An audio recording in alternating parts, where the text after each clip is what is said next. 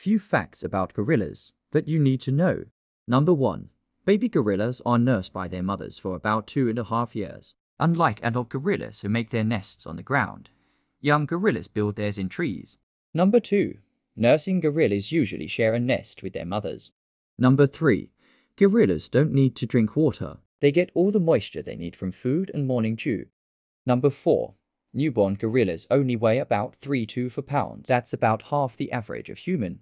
Babies whose weight is usually around 7 pounds. Number 5. As adults, gorillas can weigh up to 500 pounds. Number 6. Baby gorillas stay with their mothers for 3 to 4 years. Number 7.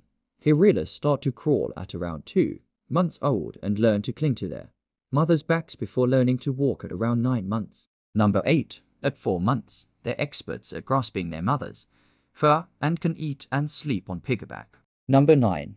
Babies will begin eating some vegetation at around 2.5 months and make it the majority of their diet by 6 to 7 months. Number 9. Males and females gorilla look very similar during their juvenile years.